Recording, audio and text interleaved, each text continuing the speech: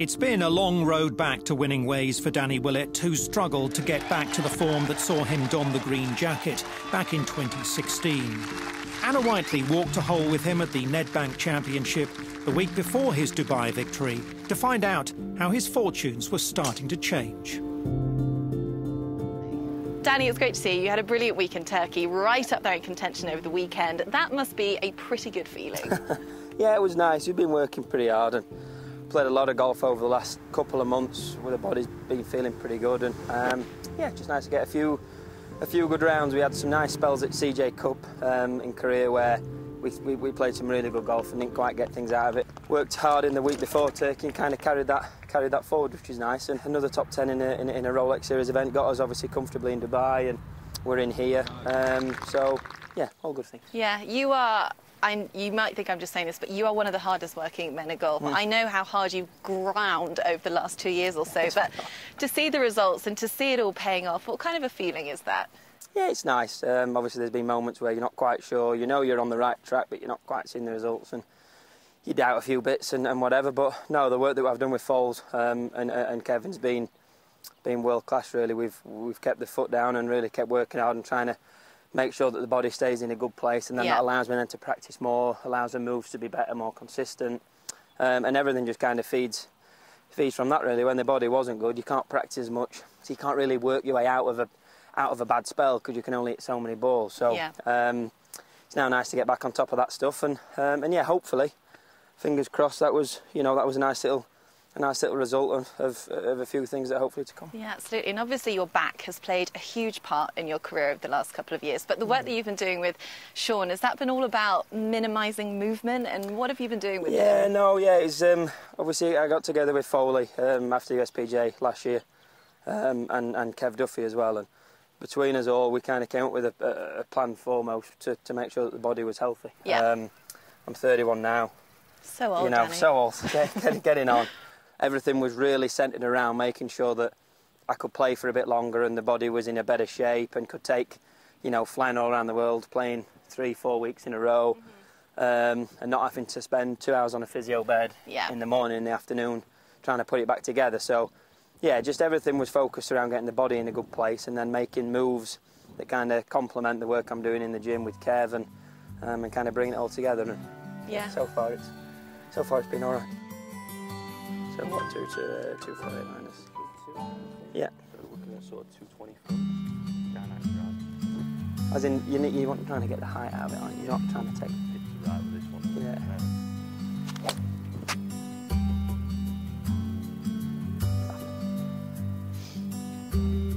Oh. So the journey that you've been on over the last couple of years is probably one that not many golfer can imagine what that's like from becoming Masters champion 2016, incredible, to dropping outside the world's 300, but you've shown such persistence. Mm. How tough has it been? Yeah, it's been tricky. Yeah. Um, you know, there's, there's probably a few more than what people know. Obviously, I spoke a lot with a few of the guys that I would call close friends who are slightly older than me. Stenson, Westy, Sergio. You look at them guys, they've all, they've all reached the pinnacles at times of what uh, of, of, their career, Stenson with the win at the Open, Sergio at the Masters, Westy's been world number one. And then at the same time, they have also had, you know, slumps in there as well. I think yeah. it happens to everyone, just not quite on the same scale maybe at times. Um, so no, it was good to, to be able to chat to the guys and um, and obviously, yeah, Foles being on board, um, family and everyone at home, everyone's always, you know, they all, from an outside looking in, you think, oh, it can't be that bad, you know, you, you're not be far off soon, you do this, you do this, but yeah, internally you're not quite sure. You know, if things are going to go well, you, are trying to, you're pushing so hard to try and get, you're to trying to get results in there just for a little bit of something to, yeah. to kind of feed off. You know, you're putting in 10 hours work a day, trying to, trying to grind it out there, and all you're seeing is miscut, miscut, miscut. And then Foles as a, as a character, I don't know if many people, obviously he's in, he's in America a lot. Um, you know, as a character, he's a fantastic person to be around. Um, he's got a great outlook on, on life. He's got a really balanced way of doing it. He wants to spend time at home with the family, but he also loves being out with the guys on tour and really trying to help it. He does a lot for the junior golfers. You know, he's been, he's been excellent in and just making sure that I do stay on that path that we chose because it's it's right, it's the right one to go down. Yeah. Clearly. Yeah. Um, you know, and within all that, and then obviously, you know, I'm very lucky that, you know, at home I've got Nick and the kids, and um, when you do get home, you can kind of take your mind. You have to take your mind off golf. Absolutely. Um, but what is it, as you say, you've been putting in 10 hours a day and you didn't see the results for a while.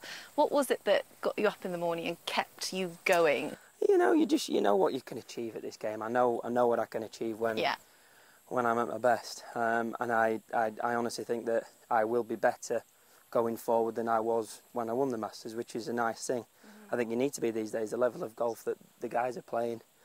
You look at Brooks, um, you look at Rosie. I can't remember the last time he finished outside the top five, top yeah. ten. You know, Yeah. Brooks every time he pitches up these days, he's, he's up in contention. Rory's obviously, you know, he's had people think he's had a bit of a stale year, but he's still sixth in the world and he's still A season fifth that most golfers would You know what I mean? And it's, Yeah. it's them things that you look at and you go, you know what? I know I can. I know I can compete with the guys, um, and you just got to kind of, you just got to kind of get up and work and, and kind of work through it. Um, you can do everything and stay pain free for a prolonged amount of time, Mm-hmm. whilst going to the gym. You know, whilst when you get home, then you've obviously you're picking up the kids, you're bending over all the time, doing that Yeah. kind of stuff, and Yeah. that was the stuff when I was at my worst with the pain that was that was bad. Is that you know bending over to, to pick the little man up was, was, was painful, and that's then you know golf as annoying as it is to be in pain when you're swinging. It's more annoying to not be able to pick your kids up when they're crying or something. You need Yeah. to sit on the floor because your back's hurting and, Yeah. and try and comfort them. So no, it's you know there's a lot of really positive things, even aside the golf. Like I said, to be able to wake up knowing that you can perform what you want to do in the gym or on the golf course or in the practice um, because you're not on painkillers, you're not on Brufen, Paras every day or co-codamol or whatever it may be. You know, you can get up and, and just kind of get on with your day and and yeah, the golf then has has kind of followed suit a little bit. We're still nowhere near where we want to be, Yeah. um, me and Foles, but but we're definitely a hell of a lot closer than we were. You certainly are. The hard work is paying off, Danny. Thank you very much. 2016 Masters champion, Danny Willett.